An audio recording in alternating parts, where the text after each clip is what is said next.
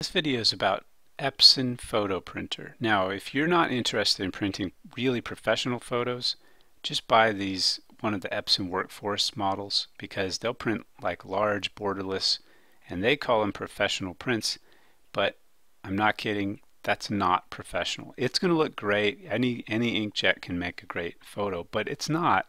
There's this enormous difference between actual professional stuff and just what you'll get out of a normal inkjet. Let me show you. The colors on an actual printout from one of the actual professional ones that I'm going to show you in a minute will blow your mind. They're the it's it's stuff that you can hang in a gallery and ask any professional, they'll tell you the same thing.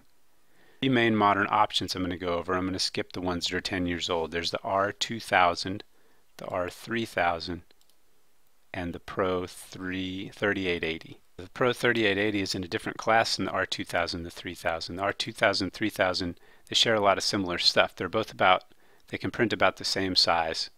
Uh, it's 13 inches wide, 19 inches long, and they actually have just subtle differences in their specialties. So the R2000 is more specialty toward glossy photos and the others are the R3000 is more of a specialty toward uh, real world light photos. However, either of them will do an excellent job at both.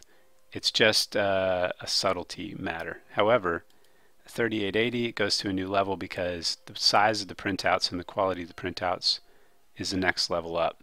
The size actually all the way up to 17 by 22. That's almost a post. So that'll get you started. I hope this has helped quite a bit. But the thing is, if you have any questions, just stick them in a comment just below the video. I'd be happy to entertain them and try to figure out what, what I can, how I can help.